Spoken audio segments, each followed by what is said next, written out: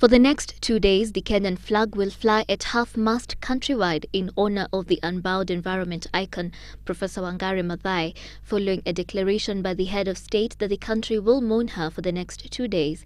The government has also nominated representatives to be incorporated into the family's funeral committee that is still privately consulting over how they will bury her according to her wishes, including the exact date and location.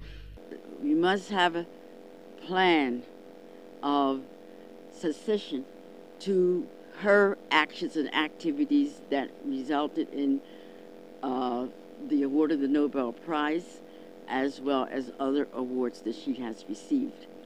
Meanwhile, top government leaders continue to condole with relatives, friends, and colleagues of the late professor at the Greenbelt offices in Nairobi.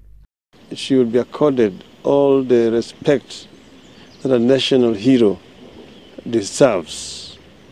Um, so we mourn Wangari, but she will continue to live if we all those who were with her in this struggle continue with the struggle until the ultimate victory.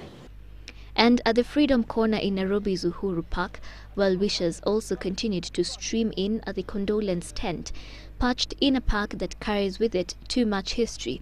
Uhuru Park, this peaceful stretch of land on the edge of Nairobi and whose name means freedom, and Kenyans owe its existence to the spirited fight that she'd put up, taking on senior government officials in former President Moi's government. As Mzee James Karanja, who was present at the time, would tell us, Madai saved the park from planned development, the construction of a 60-story building more than 20 years ago. Furahia, uone vile hata watu kuna, unaweza kuona hata watoto watu, sio kabila hii na hii na hii, kila kabila wanafurahia hapa.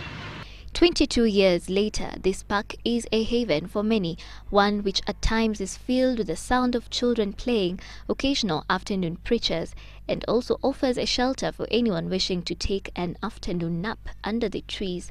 Much has been written about her and she's received many awards, but it is such a mark, a peace and tranquility that covers this park that epitomizes the fight of a woman, a woman that the world still continues to celebrate. Sheila Sendeo, Citizen TV at the Uhuru Park Gardens.